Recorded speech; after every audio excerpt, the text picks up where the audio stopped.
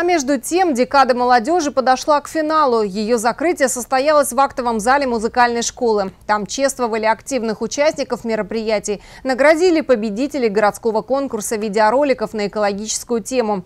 Торжественная церемония сопровождалась концертными номерами, которые подготовили детские творческие коллективы. 2018 год экологии. Как подведение итогов вручают грамоты за лучший видеоролик среди молодежи, посвященный этой тематике. В зале собрались самые инициативные и талантливые из участников. Катя Руснак – одна из победительниц в конкурсе. Мне понравилось, что молодежи предоставили такую возможность снимать интересное видео. Э, на, было три темы, то есть огромное вариация того, что можно было сделать. Идея была в том, чтобы показать, что у природы есть свой голос.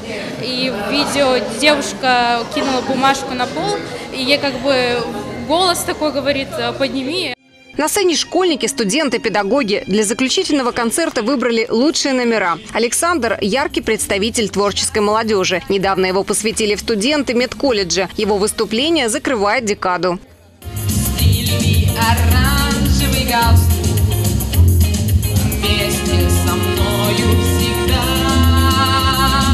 Я занимаюсь вокалом уже 11 год, и это уже как бы моя вторая будущая профессия. Самое интересное – разные виды выступлений, у каждого разный номер, не похож на другой. Поздравляли ребята первые лица города. Как отметила Светлана Познанская, на сегодняшний день стратегия развития нашего государства направлена на то, чтобы юноши и девушки обучались и оставались в Приднестровье.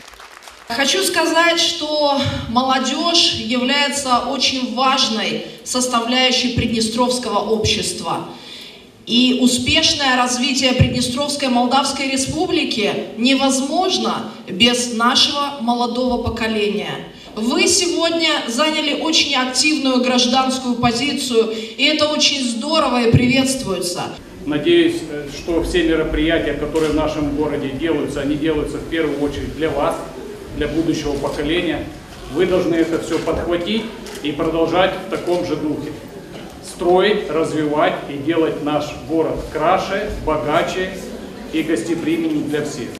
Интеллектуальный марафон «Мира вокруг нас», День дублера, конкурс видеороликов и многое другое. Декада молодежи была насыщенной. В каждой номинации определили лучших. Победителям конкурса были вручены грамоты главы госадминистрации и сертификаты участников. В лидеры вышли Бендерский теоретический лицей, школы номер 4, 16, 13, гимназия номер 1 и 2.